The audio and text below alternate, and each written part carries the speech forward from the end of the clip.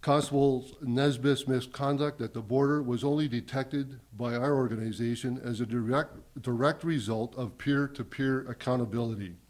It was her fellow Windsor Police Service officers who took a stand and made, and made sure that her behavior was investigated and that she was held to account.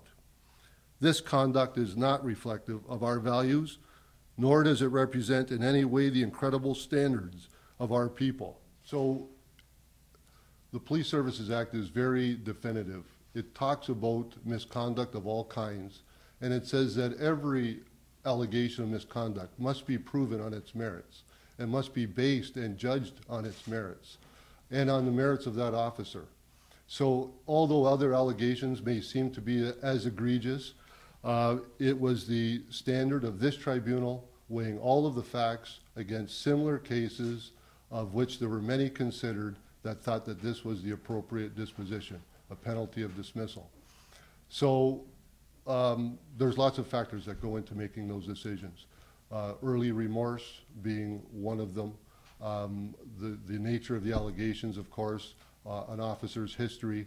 There's lots of them. In this case, uh, the hearing officer felt that dismissal, because of the length of time and the many opportunities that existed for uh, rehabilit- for remorse in order to substantiate the validity of rehabilitation, just didn't take place.